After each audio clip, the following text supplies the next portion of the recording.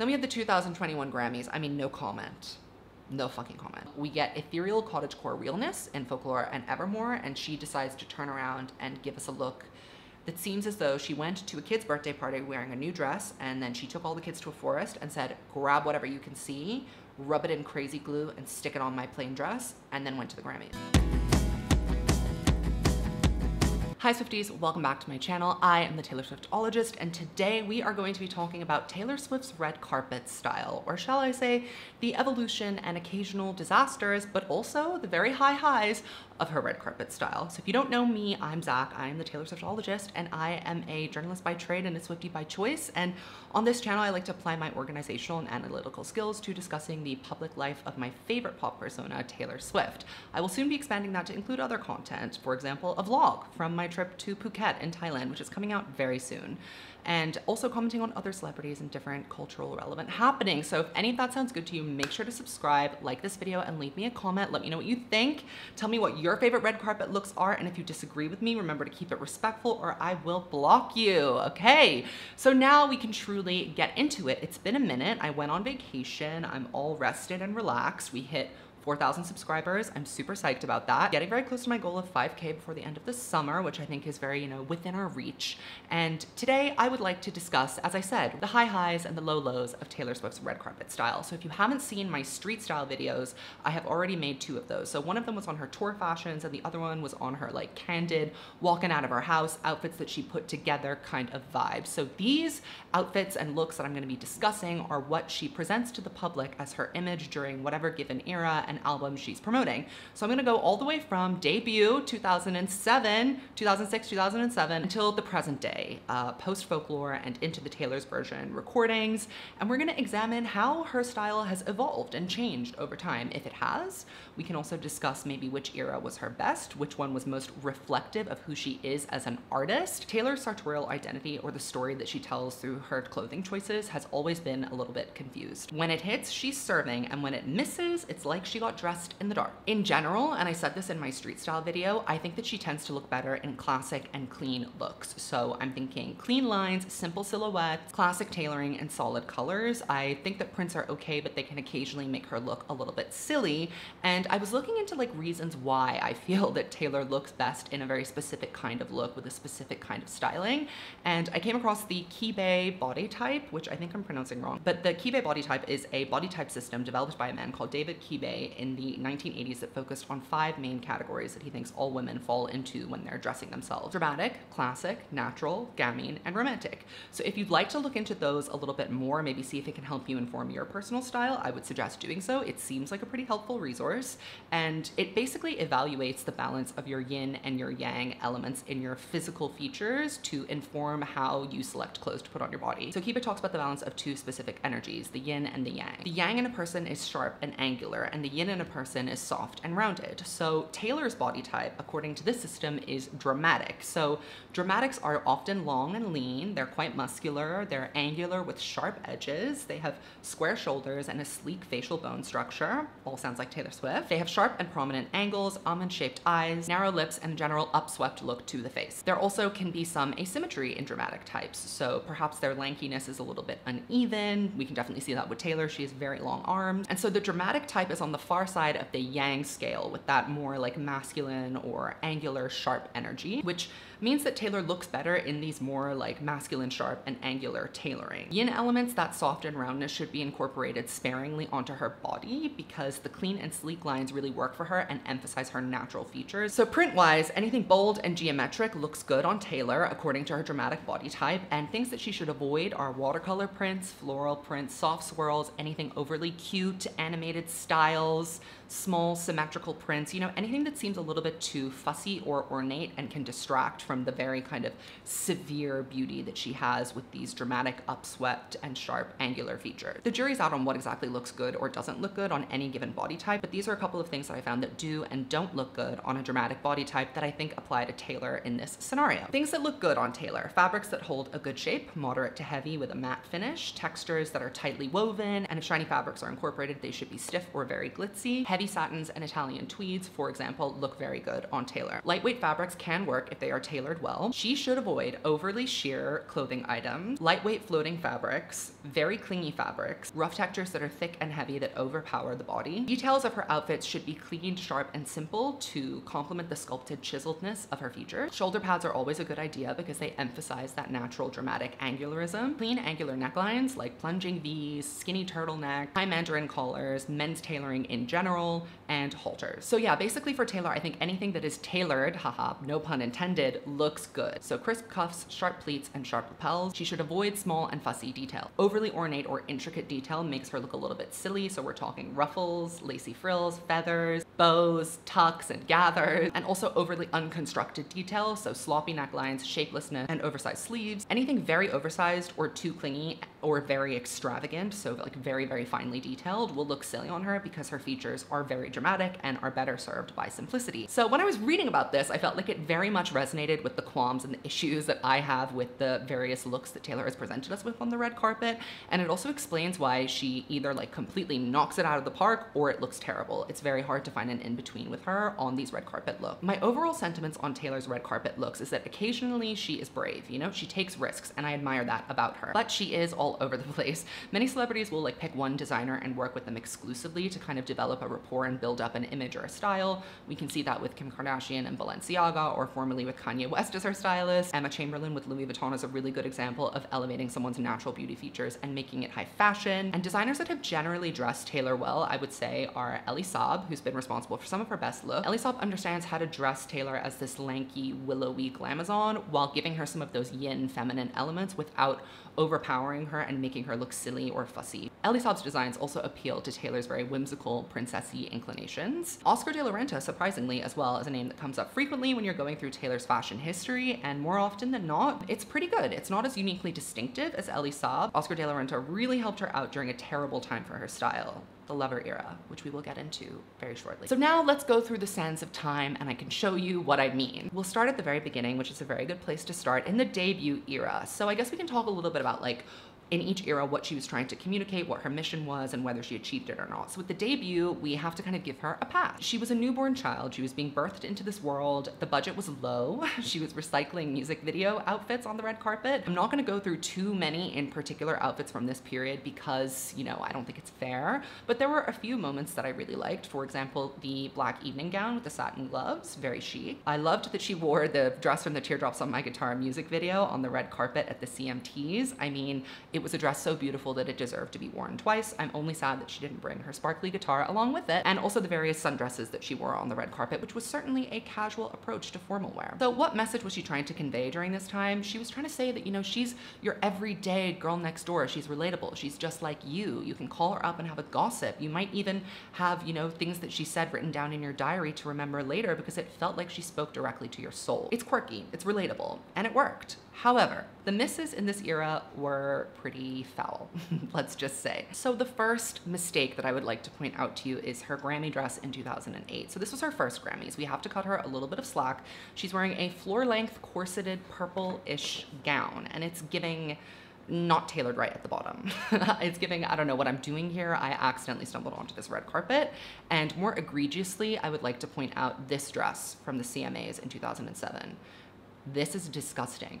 It's giving Miss Havisham. It is a very musty, mildewy cream gown, and it does not flatter her at all. She is really not good at picking colors that suit her complexion, which is something that I will return to as we discuss her looks further in this video. And also, this is not the last time that she wore this disgusting, heinous off cream color. She insisted on wearing it one more time after this. So this is a Sir from the debut era. It is a Badgley Mischka gown worn to her first Met Gala, and I feel like this Met Gala flies under the radar. I don't hear a lot of people talking about this look, but I actually don't hate this. It's okay, especially for the debut era when, you know, the lows were so, so low and Miss Havisham-esque.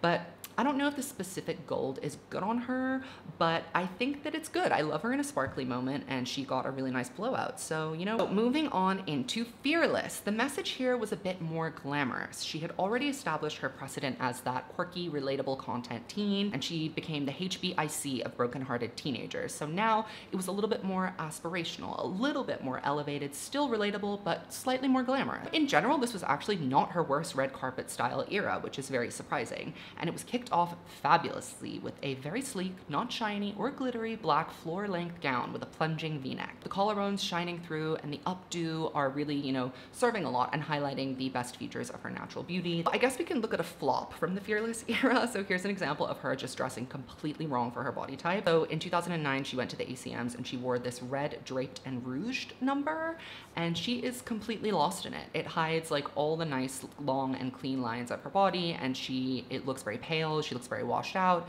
The hair is very presidential and like not in a good way. It's giving Hillary Clinton. It's not giving I'm a young, famous, successful pop star. But, you know, we also had our wins in 2009 at the VMAs. This is one of my favorite Taylor looks because it's draped, but in a fitted way. So there's a lot of loose material, but it's very strategically placed on her body and it's slightly backless. So it gives a chance for her shape to really shine through. Though it seems kind of over the top, the embellishment on this is actually quite simple and sparse. She looks like a gorgeous princess and she literally arrived in a carriage. So I think, you know, the intended effect was really achieved here. At the CMAs later that year, however, she didn't look so good. I think that the shape of this dress does her no favors. It's not tailored enough. And I'm gonna keep saying that over and over again because I feel like it's something that she, her stylist, her team has not really like imprinted into their minds that good tailoring is very important when you have a very long, lean, angular body. It's very easy for her to get lost and overwhelmed by fabric, and that's kind of what's happening here. Um, but I do like the dripping gold effect. It gives the air of what she's trying to achieve, but the execution of it really just falls short. Um, but you know, we do reach the pinnacle of the Fearless era at the Grammys in 2010. It was a historic night for her, and I don't really care what anyone says because I've heard mixed opinions and reviews on this, but this is one of my favorite Taylor Swift looks of all time. It's grown up and sophisticated, and the sea-like reflective blue water-ish movement of the gown really looks so gorgeous on her, and the sharpness in the shoulder detail is really stunning on her. I think it's very flattering, very nice. And when she walked in it, it moved really beautifully. This is another problem I think sometimes that uh, many celebrities have on the red carpet. It might photograph poorly but look really nice in transit between like getting an award and going to your seat or whatever. This dress did both. It photographed well and it looked lovely when she was walking around and accepting her speeches. I don't love the accessories here and I think she's over accessorized a lot of the times. I think most of the time she looks good with like a clear neck, no adornments there whatsoever unless it's extremely simple and fine and with just like a diamond stud maybe or like small gold hoops and keep it moving everywhere else. But you know, I'm never listened to ever. Towards the tail end of the Fearless era, we go to the Met Gala again. And you know, these Met Gala looks are not talked about very much. I think the first one that people really like remember and think about is the 2012 look, but this 2010 look is actually probably one of my favorite Met Gala looks from her. She's wearing a Ralph Lauren ivory dress, and I think that this is actually like strangely a very flattering color on her. White is a little bit difficult for her to wear unless she has a spray tan, and the standard fluorescent blank white I feel like isn't always the best thing for her, but this is kind of like an off-white, I guess. I, I don't really know what I would call this, but I think it's very flattering on her, and it's got that kind of debut simplicity vibe, but the hair and makeup is very glamorous, which I feel like matures it just a little bit in a way that is very appropriate for the Met Gala. And keep in mind, this was before the Met Gala became like this whole social media event with like costume changes and stuff. It used to just be a very formal, fancy, you know, dinner party that was held that people wanted to look pretty for. And I think that this dress in general is a really good example of how incorporating some yin elements like that softness and the flowiness of the dress um, paired with the color and the very close tailoring, uh, how this can look really nice on her when it's done properly. Let's go to the other side and talk about things that were not done properly. In June of 2010 at the CMT Awards, she wears this red John Galliano dress and she's rocking her straight hair, I think in public for the first time. And I mean, this is all just a little bit too severe. And this is the risk of the dramatic body type, I think, is that when you dress her wrong and you incorporate either, if you incorporate either too much yang or too much yin, you end up looking a little bit scary. And Taylor does have that inclination to look a bit villainous at times, just because of that angularness in her body and her upswept features and her height as well. I don't hate the dress in theory, but it is a little bit shapeless around the waist. I like the buckle detail as the strap, but the shoes really killed it for me. And this is not a good color on her. It's rusty, but you know, this night was very important because this is where the story of us was born. She was seated just a mere few seats away from John Mayer, and she had never heard silence quite this loud. So now we get into Speak Now. So what was she trying to communicate to us during the Speak Now era? Well, it was a very fairy tale, whimsical girl moment, but it was a little bit more grown up, again, like Fearless, leveling up a little bit. It went from glamorous to elegant, I would say, a little bit more refined, a little bit more mature, rather than just more expensive looking. And this was a nice kind of transitory period. It blends into Fearless seamlessly, but it has a few tweaks and elevations, and it's definitely a stepping stone between a girlish Taylor and a womanish Taylor. She's also becoming a touch more modern here. She's experimenting with different vibes that go beyond just pretty girl dressed nice on a red carpet. The first look I'd like to point to from the Speak Now era is her Vanity Fair Oscar party look. This is a Zuhair Murad dress, and it is very gorgeous. It's gold, it's embellished, it's a mini dress. All of her lovely limbs are on display. She's definitely showing more skin. It's more form-fitting than maybe some of her dresses that she had worn in the past. Importantly, this looks good because it's form-fitting, but it's not clingy. It doesn't suck her in and she's not spilling out of it. The faux bob is really nice here as well. And in general, I think an updo when she's doing evening wear always looks nice. Then we zoom over to the 2011 Met Gala and this gown is something else. I mean, the hair and the makeup makes her look very old, first of all. It ages her beyond. And, you know, a heavy eye on her is such a fine line between trampy and moody. And more often than not, I would say it goes into trampy or even scary rather than moody and mysterious, which I think is what a smoky eye is supposed to be going for. And this dress is so ugly. I hate it. It looks like the shift of a dress that they put on someone when they're designing it and taking measurements rather than an actual finished dress. Like this looks like it just came out of a studio. And there's just like way too much going on. It's very drapey, it's very floaty, it's not fitted enough, and that cream color is just just horrible. Also, there are too many fabrics. This is just like a lot going on. Taylor is very naturally beautiful, and I just don't think that she needs to do all that much to look elegant and glamorous. However, that has never stopped her before. So these are some looks that I actually really liked from the Speak Now era. So first we have the Billboard Music Awards. She's wearing Elie Saab and I like this. It's very grown up. The blowout was good. The hair is very relaxed. I feel like there's a lot of yin going on in this outfit. I do wonder if this was tailored just a touch a little bit more, perhaps around the waist. Would it look better? Like would the flow of it feel a bit more in keeping with her body? But you know, it's not overly remarkable. It's just like a nice thing that she wore. And something I really liked was what she wore to the Teen Choice Award. This was definitely inspired by Marilyn Monroe. And I like this. I like a high pony. I like the bangs kind of left down. This neckline looks very good on her. The cinched waist, always good. And the ruffled skirt is structured. Note, it's very tailored. It looks well. It fits her nice. The styling, again, you know, her makeup, her jewelry, and her shoes don't look good to me, but it has been worse. Um, and you can see that she's slowly trying to broaden the public's conception of her by trying on slightly more provocative outfits. You know, when you see a dress like this, you do kind of make a connection between Marilyn Monroe and whoever is wearing that kind of dress. And I feel like she was really shifting the needle very, very gently and subtly at this point, and this was a good way to go about doing that. Here is a complete flop from the Speak Now era. I think this was like more towards the end of it and heading into red territory. Uh, this was at the Rodarte fashion show, but this is just heinous. This color is so horrendous on her and it reminds me of that dress from the debut period. I just don't know how someone could like have seen her in that and gone, yes, this is very flattering. It looks good on you. She continuously wears this color. It's not just like a one-off event. She has worn this color multiple times and it looks like spoiled milk. I need her to stop. And the dress is just not flattering. It's not tailored very nicely. She's way too buttoned up and covered. She looks matronly. It ages her unnecessarily. Something else I didn't really like, this was the 2011 CMA Awards. I also hate this color. It washes her out. It looks bad. I don't like the rouging. The hair is kind of like a mess. I mean, it's just not good. So there aren't a lot of standout looks from the Speak Now era, but then the Lorax starts to do promo, and this happens right after she cuts her hair. And this was kind of a dramatic change. You know, she's straightening her hair, she's getting rid of those bouffant, dreamy, girlish curls. She's becoming more modern. She's becoming, you know, like an everyday woman, not just like a relatable girl. She's, you know, your uh, relatable older sister or your relatable camp counselor vibes. Yeah, so this is the first public outing, I think, formally on like a carpet that she did with the hair, and I love the dress. Dress. I love this color of her. I love the cut of the dress. And also it's a real Easter egg. You know, she was wearing red, working on an album called Red. This is what the Easter eggs used to be. This was many, many months before we had any sort of announcement that an album was even coming. I also think that if Taylor's gonna do a high neckline, it should be done like this, like a scooped high-ish neckline rather than right up at the top of her neck.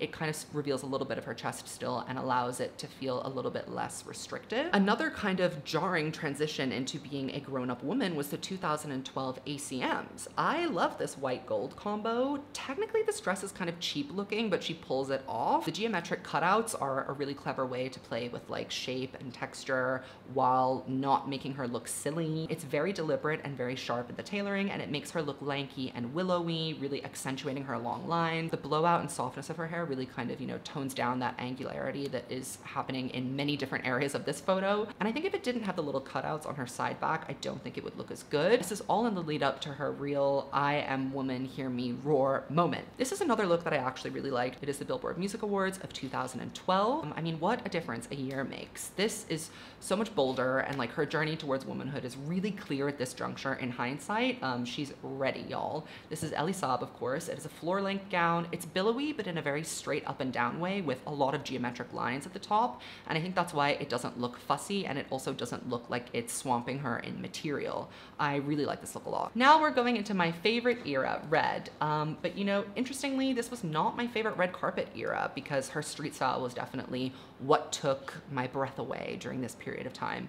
Um, but she was definitely leaning away from girlhood and more towards womanhood during this time, as I mentioned.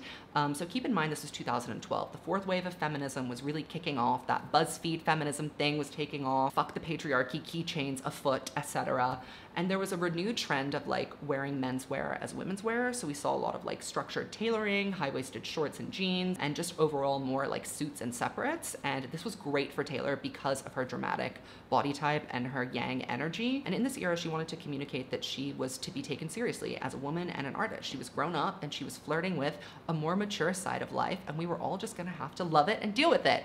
And you know, she tried to do that with her red carpet style. And to be fair, sometimes it worked. It was just Sometimes it didn't. The first kind of public outing that we get after Red has been announced, we are never ever getting back together, is out there. Everybody's heard it. We're having a very dramatic sonic shift in her career as a songwriter, uh, is the VMAs. So this is the VMAs in 2012. And you know, I love this. I think this is her first formal appearance in like a suit and separates look on the red carpet. There might have been one more actually now that I think about it where she wore black, but this was the first one with the new haircut with the bangs and the straight hair. I love the separates in white and I think she always looks good in men's tailored pieces, jackets and pants. I do wish that the pants didn't fade into such a close taper, but I digress. That's just me nitpicking. I love the plunging neckline of the suit and I think that it's sophisticated and sexy while not being too overly showy. Then we have her at the Elie Saab fashion show a couple of months later. I guess she wasn't really to let go of that conservative energy. Vintage stuff actually does look good on her. I just don't understand why she insists on choosing all the vintage designs with such high necklines because it doesn't flatter her. Um, but I do like this powdery blue on her, however. The next two looks are really just, you know, they tried to do something and they didn't do it very well. So this is the 2012 AMAs and her stylist was like mad at her that day. Her stylist woke up and spat in her Diet Coke and really sabotaged her from the moment she walked out the door. Proportionally, this is a weird dress. Like I said, she has some asymmetry going on where her arms are like quite long for her body and doing a full length sleeve with a short skirt is really not a good vibe on her. I like some of this detailing, but the shoes make the proportions look even weirder and then the bangs cut off her face and the eye makeup is far too heavy. Similarly, her stylist hated her at the 2013 People's Choice Awards. I hate this. I hate it so much. It looks cheap. This does not look like an expensive outfit or an expensive outing. This is a good example of how too much yang can make her look so sharp that she looks old and scary. Um, the shoulders are slightly padded and the V neckline is like way too plunging. The makeup is horrible. Uh, those earrings are a mess. It's just terrible vibes all the way around. So she attends the Golden Globes, and I have to say, she rarely looks good at this event in particular. It's very rare to see Taylor offer us a slay at the Golden Globes, and you know, this is no exception to that. I don't know why this doesn't look that good. It's not terrible, it's just kind of bleh. I think this color is just a bit drab for an event like this. She loves sparkles, she loves to wear like reflective shimmery fabric, so I don't know why she doesn't wear that to an event like this, where she really is gonna be photographed so much. The dress itself fits her beautifully. I love the actual dress, you know, barring the color. It has the right amount of draped material in exactly the right places. It has sharp angles, but also a billowy element. I guess it's just underwhelming because of the color. Then we have a serve, the 2013 Grammys. I love this look. I'm on the fence with the shoes, but in general, I think the billowiness of this J. Mendel pleated gown uh, with the glittery harness is a nod to both her past and her future. You know, the billowing gown is very like girlish and her past, and the the more sharp and severe glittery harness is indicative of the fact that she's growing up and she's trying new things and she's experimenting. The eye makeup is a little bit too heavy, especially because it's guarded by this very severe bang, but I love this look and I think it tells us something both about where she's been but also where she's going. And this is the sartorial story that I want her to be telling us at all times. You know, she puts so much thought into many different parts of her career. It just seems like, it doesn't seem like she puts a lot of thought into what she puts on her body and how she communicates that visually to the world. Up next is the 2013 Met Gala where she's really giving us Blake Lively here. The theme was punk and I think she adhered to the theme pretty well while not alienating and eclipsing her own personal style. I like the gothic elements that are here. Ornate collar that extends to the shoulder, the lacy cutout, and I love her in black. The heavy eye makeup actually really works here, and the Met is very pompous and camp, so I like that she leaned into that sense of drama a little bit. Another event from 2013 was the Billboard Music Awards, and something about this look is giving drag queen.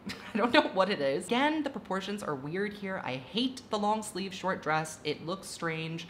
The sleeves are like cracked pool tiles, and I think that this blue is just a little bit too rich on her, especially because it's covered in sequins as well. There's a lot going on.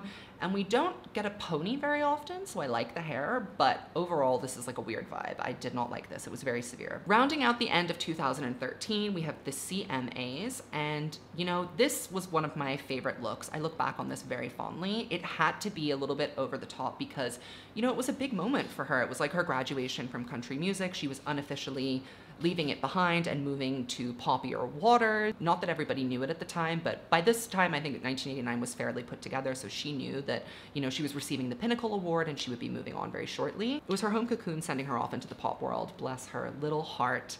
Um, and this look should be bad theoretically when I've talked about how, like, billowing fabrics and like not good tailoring doesn't really look great on her. But because of the night and the occasion, I found this very endearing. It was her graduation. You know, I felt like it was a lot of like her elders giving her their blessing to move on and congratulating her for learning the trade and the craft so well. Elie Saab really gets her when it comes to that yin side, knowing when to incorporate those girlish elements. I love the detailing on this dress, the color, the low bun, and the satin sheen to the material. It's very sweet. So this is an A plus for me. Another dress that I really like, but when I look at pictures of it, it doesn't look as good as I remember was the 2013 AMAs, and this shouldn't work, but it does. And I think something to note and is important to talk about when we discuss Taylor Swift's style is that she was very, very thin here. And I do wonder if that sometimes does color how we look at her fashion and how we decide whether she looks good or bad. I think it certainly does for me somehow, because when you're skinnier, clothes hang off of you and, you know, high fashion designers are designing with this body type in mind. And I think that that allows, you know, people who conform to that beauty standard to get away with wearing something kind of ugly or strange and still um, be allowed to look good or to be seen as looking good.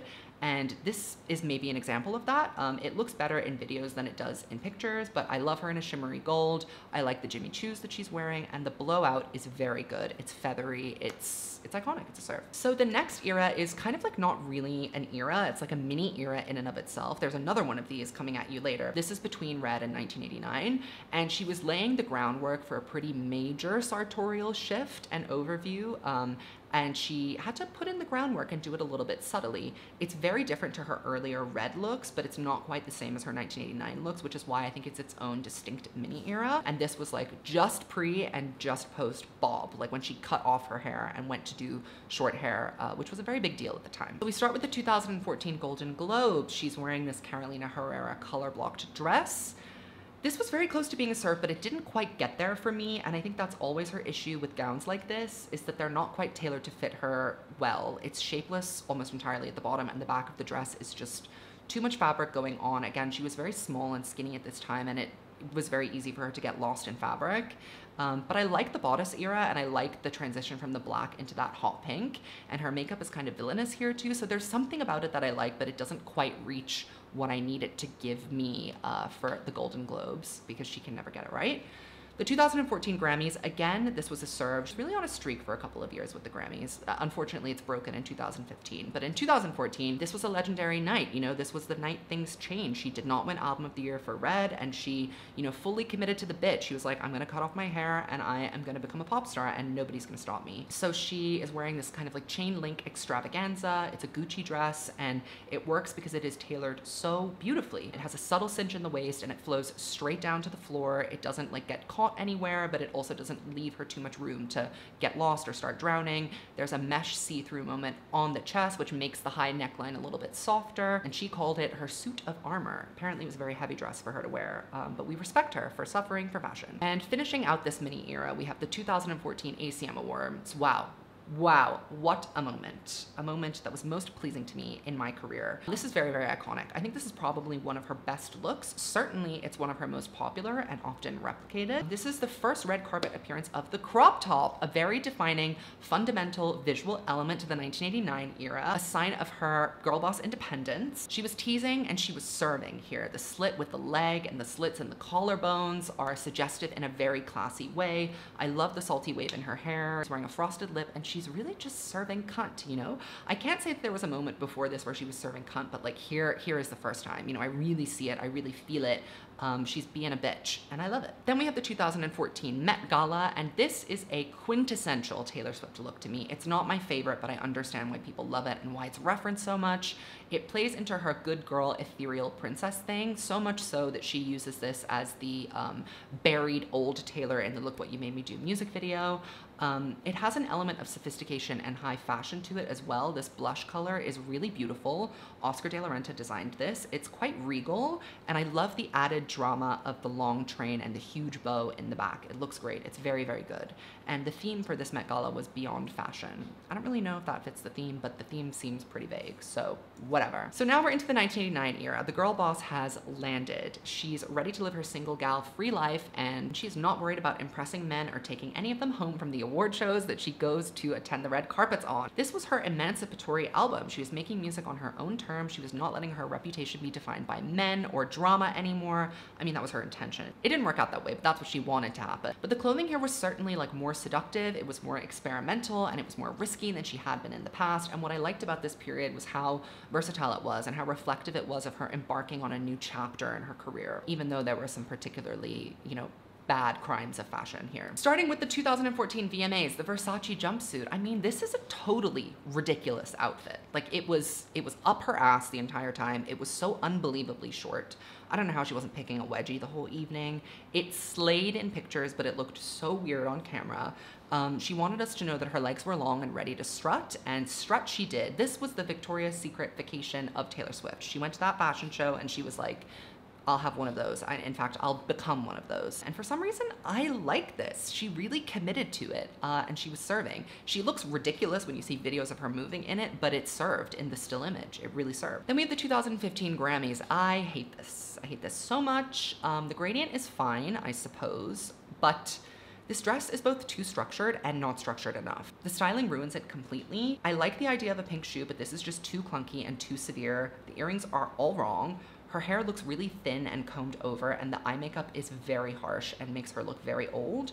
And I don't like this. This is too imposing. She's already tall and angular and sharp and quite intimidating uh, just by her natural beauty features. So adding all of these like crazy structural elements, like way too much yang in this in this element. We needed some softness. We needed some roundness. We needed romantic, girlish element to this. It was just a little bit too much. So now we have the real crime of the 1989 era, the 2015 Elle Style Awards. God, I hate this so much. it's giving Disney villain. It's giving Yzma from The Emperor's New Groove. Her hair is yanked off her face and pulled behind her and brushed into these thin little twigs that just sit lifelessly and sadly at her shoulders. The cat eye is horrible. The dress itself, I hate. I like green on her, but this green is costumey, like villain costumey, and the lace detailing on it is horrendous. The straps are horrible. They look like they are not there for any sort of practical purpose or any sort of ornate purpose. They just look stupid. And the shoes are terrible. So I give this look a zero out of 10. Fortunately, a couple days later, she turned it around with this Cavalli gown that she wore at the 2015 Brit Awards. Um, I loved this. I think this was a risk that paid off. The hair is a bit helmet hair, but I can forgive it for the luxuriousness of the gown that she wore. It's more simple. I like the fact that it's plain black with a red print on top of it. The dress fits her very nicely. Uh, it's imposing, but it's not severe or scary. So I liked it. Let's look at some more experiments that didn't exactly pan out the way that she thought they would. 2015, the Billboard Music Awards. This is a Balmain white jumpsuit. I just don't like the cut or the fit of this. It's too loose around the knees and the hips, and then it's too tight around the bust. The cutouts are very ill-fitting, and she seems to be falling out of it, and it's not like Taylor is like the most endowed person in that region anyway, so for her to be spilling out of something, it means that it's really tailored not properly to her body. I get what she was going for here, but I just don't like it. I do like her in a jumpsuit, but this was just not it for me. And then we have another tragedy, which is the 2015 VMAs. This is a perfect example of how she shouldn't dress. There is so much going on here. The awkward, ill-fitting joggers on the red carpet, the angular shoes with the crisscrossing straps, the insanely ugly color palette, this dull, dreary houndstooth, I mean, and it's all paired with this most severe slicked back hair and an insane Julia Fox eyeshadow eyeliner moment. It is giving cult leader. And you know what? She kind of was cult leader at that time. Girl boss, hashtag squad. Luckily, she recovers towards the tail end of the 1989 era. 2016 Grammys. Finally, she has figured out a color block that works. The shoes are simple and they don't intrude on the drama of the dress. The crop top is true to the era and the colors are bright and fun and daring. It's a brave, strange pairing, but it works especially because she has a spray tan. They correctly decided that she would look washed out if she wore colors like that without being spray tanned. So props to whoever made that decision.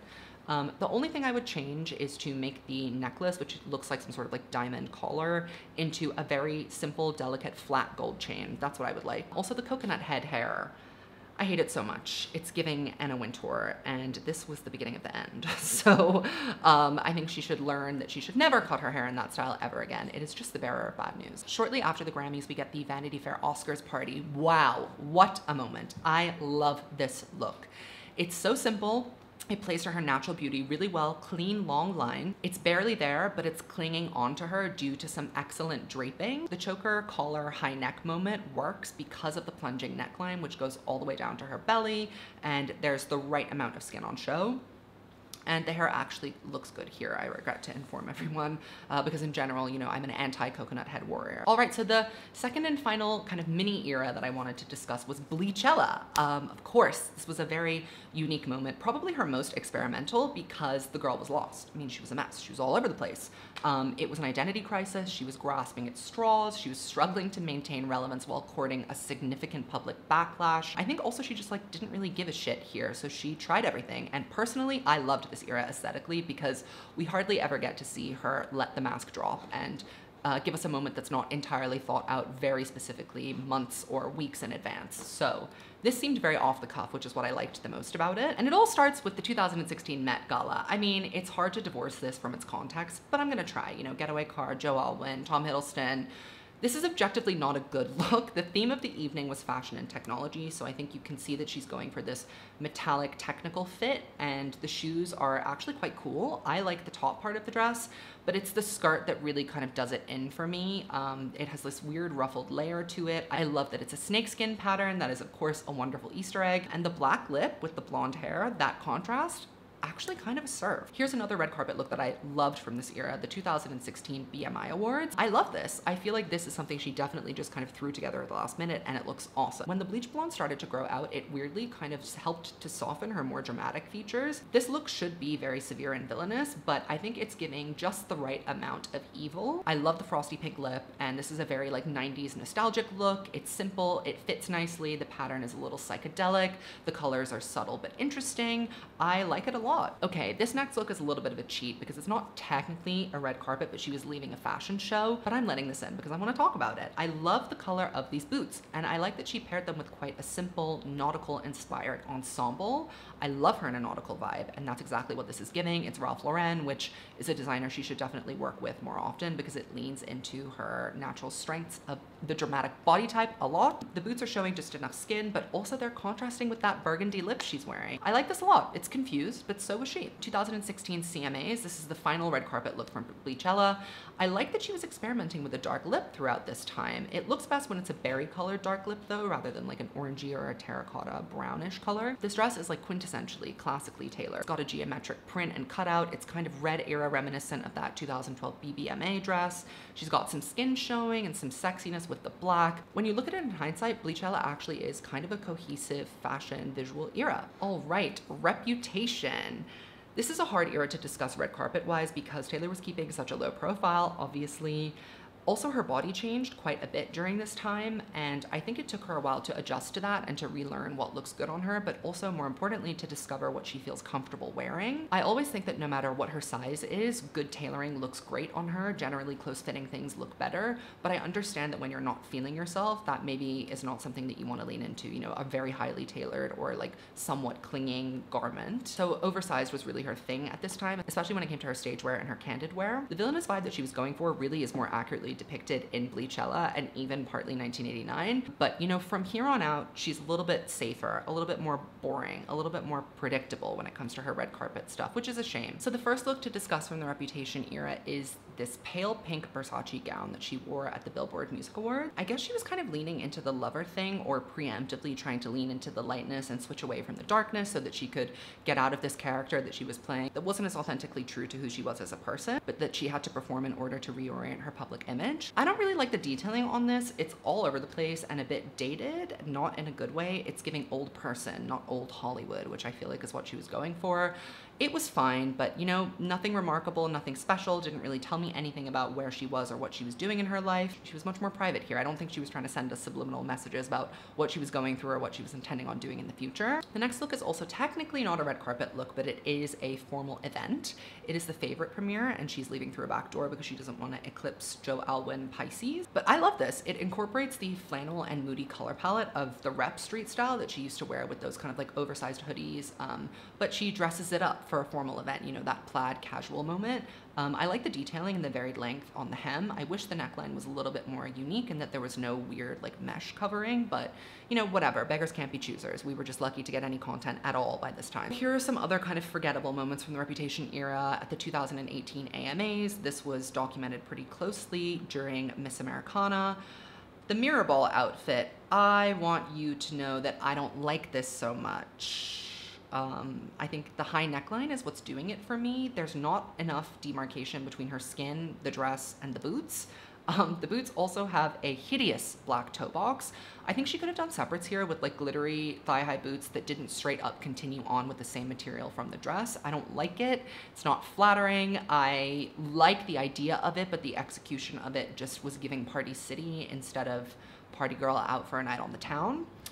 Then we have the 2018 Golden Globes after party. This is boring to me. I like the bustiness of it all. I think that it's quite sexy, but it's dull. Yawn. And then we have the Lover era, you know, which just gets dragged approximately every three working days on this YouTube channel. Um, she was happy and she was in love. And apparently she was shopping at Claire's. I get that this was a visual shift from Lover into her happy, thriving era, but I think she just forgot to keep it mature and high fashion at the same time. I just didn't vibe with her style in this era at all. It was juvenile and it wasn't appropriate. Something that I didn't actually mind from the Lover era was the 2019 iHeartRadio Music Awards. Um, she was kicking it off here, the Lover era. She hadn't officially announced it, but she was on the cusp. And I actually like this. It's giving rainbow fish, the proportions are right, the half sleeve is a good length, uh, the legs are on display. The shoes are a little corny, but they're cute. Um, the hair is up. I liked it. It was okay. Then we have something that I absolutely hated and I feel feral every time I look at it. This is the 2019 Time Out Awards. Literally, what the fuck is this nonsense? She looks like a loofah. And these colors are so hideous on her. If you have a spray tan and your outfit is still washing you out, girl, change your clothes. The hair and the makeup is really nice, but the dress looks really cheap, like hotel curtains, and it also looks like it needs to be steamed. You are literally on a red carpet, girl. What are you doing? Can't stress how much I hate this particular shade of yellow. Not even just on her, it's an ugly color, and she's just drowning in fabric here. It doesn't flatter her body type at all. Speaking of loofah, the 2019 iHeartRadio Music Awards. Oh my God. This is giving Lush Bath Bomb. It's giving Johnson & Johnson baby products. I hate this so much. The shoes are fine. But the color, again, it just really washes her out. The high neck is really unflattering. It makes her look like she has a much weaker jawline than she actually does. I hate everything about this. It's horrible. She looks like a tea cozy. Then we have the 2019 AMAs. This is okay, but it's more of a reputation look. It's the black and green color palette again. I like the shade of green. Why didn't she wear this to the BBMAs in 2018 instead of that ugly, weird pale pink thing? The ornateness and the shimmer is nice, but the boots are horrible. I really don't like them. This outfit is proportionally strange. It's asymmetrical. It makes her look short. I don't like it at all. And nor do I like her hair swept all the way over to one side. It's just not for me. And it's also not for Lover. What does this say about Lover? Nothing. Okay, now we're getting into the real, the real nonsense. The 2020 Golden Globes. What God grant me the serenity to accept the things I cannot change, the courage to change the things I can, and the wisdom to know the difference. This is a tragedy. This is a national emergency. This is a war crime. I hate everything about this dress so, so much. The yellow is disgusting. It is snot-like. It is like your grandma's old couch. There is no shape to this. It flatters her in no way. She has her hair yanked back off her face like it's done something bad to her and she's punishing it for some reason. She has a random sliver of her stomach showing through in a little triangle. It's just horrible. This is really bad. It's wallpaper. It's so, it's just, I hate it. I hate it so much. Then we have the 2020 Sundance Film Festival. I should like this because I love her in suits and separates, but I just don't for some reason. Um, there's too much material going on here and like the print is too samey samey. I wish she had like cinched her waist a little bit with a belt or that she had put on a different coat, perhaps like a leather trench or even a soft drapey felt coat in a neutral color would have looked nice. Um, it's just all a little bit too much for me here. Uh, she actually ended the Lover era with a couple of serves though. Her surprise appearance at the NME Awards, uh, she served complete and total cunt, and she hadn't been doing that for a couple of years by this point. Hair on point, brushed and styled. Sometimes it's just brushed, sometimes it's just styled, sometimes we get neither. Today we got both. She's wearing these cool severe shoes that actually work to contrast a very um, expertly tailored, strategically slouchy take on menswear. Um, I loved this and it was very appropriate for the event too. NME is a little bit more punk, it's a little bit more rock and roll than say the Rolling Stone Awards or the Elle Magazine Style Awards. Moving swiftly on to another serve, the Cats premiere, Oscar de la Renta, she knew that she was going to be completely humiliated out of her mind by her performance in this. So she just had to pull focus by looking really gorgeous. And I love this. It's really nice. The print is pretty. Um, I think it could have been tailored a little bit more at the bottom, but compared to the rest of the Lover era, I'm happy. And finally, we end our journey through Taylor Swift's red carpet fashion with folklore and onwards. So I mean, there aren't really any specific vibes going on here. She's just wearing what she likes, I guess. Um, and that's totally her right, but I think her era of serving cunt on the red carpet is well and truly over. Um, but there are some okay-ish moments as well as some disasters to look at from this period of time. The 2021 Brit Awards. I like this a lot. Um, I take issue with the fitting. It is ill-fitting. It doesn't fit her properly, but I see what she was going for and I like it. This is a two-piece Miu Miu number, uh, which is a brand that's known for being a little bit more girly and feminine, definitely more of that yin element. It would be interesting to see like what they could bring to soften her up if they were to dress her again and maybe custom make her something. I like the separates, as we know. The detailing is lovely. I like the silver, but there's something weird about the waist. It is just not flattering to her and it doesn't look comfortable. Like it looks like it doesn't fit her right. This is not her size. It's too tight and also shapeless at the same time. Then we have the 2021 Grammys. I mean, no comment no fucking comment. We get ethereal cottagecore realness in Folklore and Evermore, and she decides to turn around and give us a look that seems as though she went to a kid's birthday party wearing a new dress, and then she took all the kids to a forest and said, grab whatever you can see, rub it in crazy glue, and stick it on my plain dress, and then went to the Grammys. Ugly, I hate a short dress with a long sleeve, the shoes don't match, the hair isn't done, the hair isn't even washed, I don't even think she put some dry shampoo in it, it is horrible not good. And then finally, the most recent look, we have the all too well red carpet velvet suit. I mean, it's fine. Her talk show looks for the red Taylor version era were way better actual serves. Um, but you know, this was okay. I like it. It's not terrible. It's not great. It's whatever. All right, Swifties, that's all I have for you today on the history of Taylor's red carpet fashion. I will be back again very soon with more videos. I'm trying to upload maybe twice a week, although don't hold me to that. But make sure to follow me on Instagram if you want to keep in touch with what I'm doing. I'm going to be putting up a vlog soon, so look forward to that. And check out my podcast, The Evolution of a Snake, if you haven't already. We go year by year through Taylor's career to observe her evolution and analyze all of the crazy decisions that she's made. So subscribe, like this video, leave a comment, and I will see you in the next one. Goodbye.